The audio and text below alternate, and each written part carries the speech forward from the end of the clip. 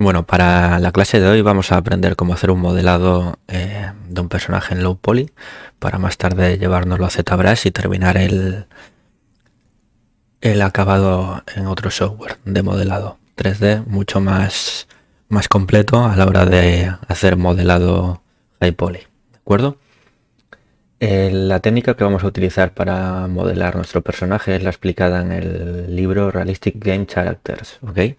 Lo dejaré, lo compartiré con vosotros en el campus virtual, en, en la sección de recursos. El libro está en inglés, pero no os preocupéis porque está no es muy denso a nivel técnico, ¿de acuerdo? Y está documentado con muchas imágenes, así que por contexto y entre imágenes podéis intuir muy bien los pasos que hay que hacer, ¿de acuerdo? Así que nada.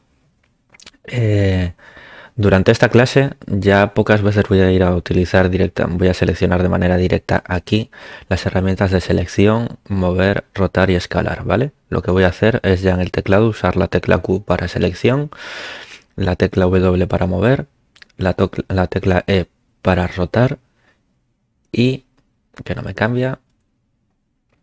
Y la tecla R para escalar, ¿de acuerdo? Así que cuando me veáis que estoy haciendo cosas de manera automática aquí, es porque ya estoy usando las, los atajos de teclado, ¿vale? Lo mismo va a ocurrir con la herramienta de extrusión, que como os comenté en el vídeo anterior de eh, introducción a la herramienta de extrusión, el, acceso rápido es Shift más eh, mover, ¿vale? Así que nada, vamos a empezar. Lo primero que tenemos que hacer es venirnos aquí a este panel donde pone Poly Modeling, ¿vale? Y creamos un cubo. Hacemos clic en él y ya se nos aparece, ¿vale? Para que os sea más fácil a lo mejor en el vídeo visualizar, vamos a...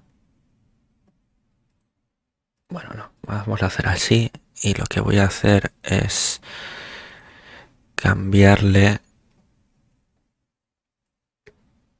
el color para que haya más contraste entre las aristas y las, y las caras, ¿vale? Y si os sea más fácil diferenciar lo que estoy haciendo a medida que voy modelando, ¿vale?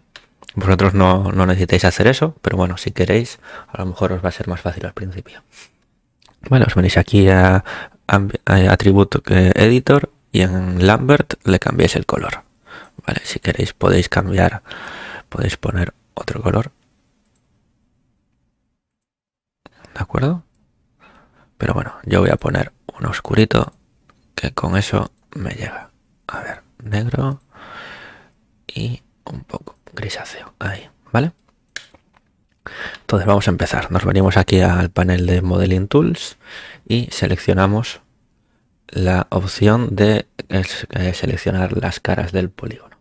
Hacemos clic en él, vamos a darle a la herramienta mover y lo que vamos a hacer es 2, 3, 4, 5, 6. 6 extrusiones hacia arriba. Más o menos de este tamaño. 1, 2, 3, 4, 5, 6. Vamos a asegurarnos que eran 6. 1, 2, 3, 4, 5, 6. Más la inicial. 1, 2, 3, 4, 5, 6. 6, 7. Vale, perfecto.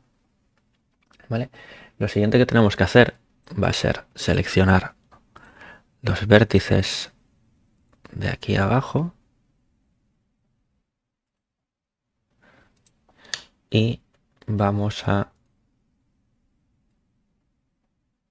juntarlos de esta manera más o menos Lo que estamos haciendo aquí, esto es la parte de la cadera de nuestro personaje. Ahora, volvemos a seleccionar eh, las caras, seleccionamos esta, esta y con la herramienta mover más shift pulsado vamos a extruir y más o menos vamos a llevarlo por aquí. Lo siguiente que tenemos que hacer ahora va a ser seleccionar estos vértices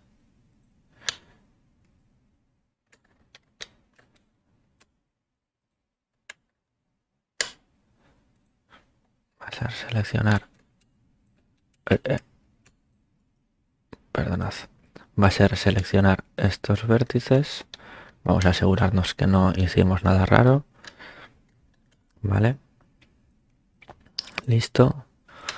Y listo. Y vamos a bajarlos. Más o menos así.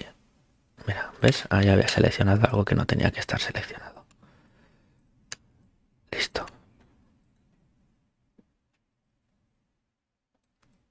ahí perfecto y tal vez vamos a subirlo todo un poquito más así vale y ahora lo que tenemos que hacer es sacar el resto de las piernas y para eso vamos a hacer una, dos, tres, cuatro, cinco, seis, siete extrusiones.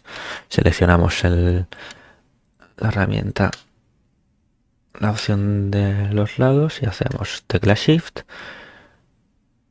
Uno, dos, tres, cuatro, cinco, seis, siete.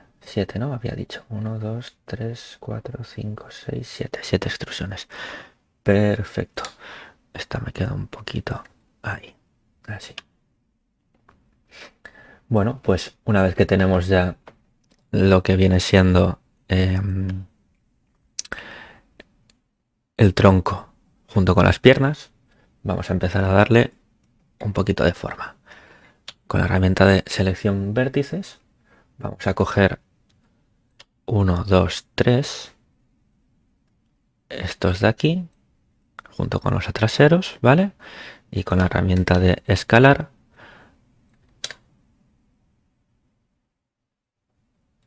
Perdón, vamos a seleccionar todos y con la herramienta de escalar vamos a hacer esto más o menos, ¿vale?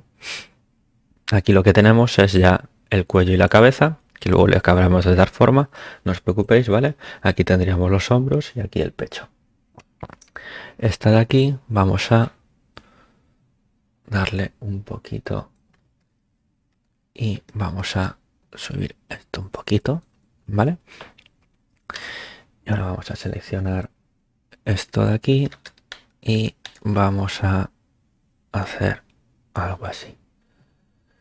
Vale ahora esta de aquí.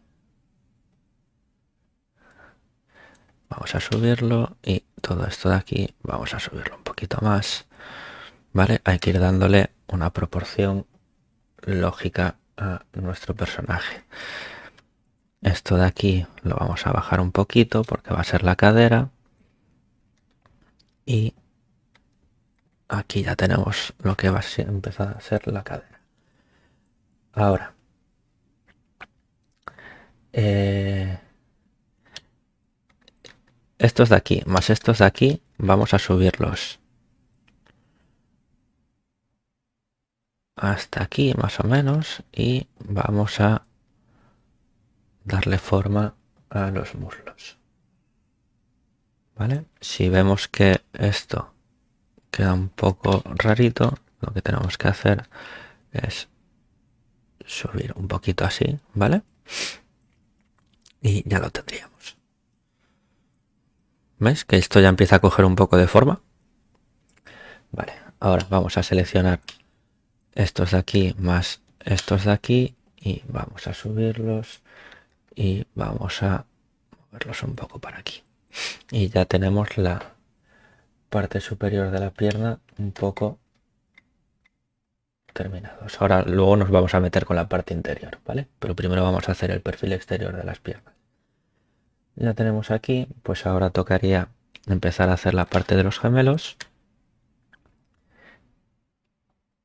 Y la parte de los gemelos es muy sutil.